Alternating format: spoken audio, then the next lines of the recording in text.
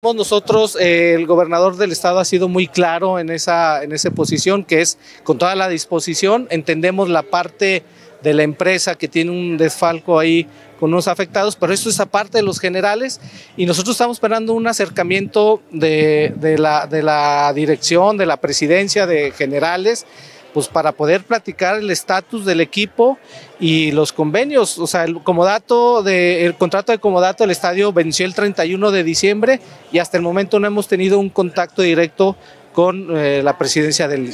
A través de diferentes medios de comunicación y de varias notas periodísticas nos enteramos de que eh, la eh, la asociación, la, la, liga de béisbol, los, eh, la mesa de, pro, de, propietarios tuvieron una reunión el pasado lunes donde vieron opciones para poder este, tomar una decisión. Y el día de hoy efectivamente tienen otra reunión, es el dato que nosotros tenemos y esperamos la solución. Recordarles, es un tema de particulares.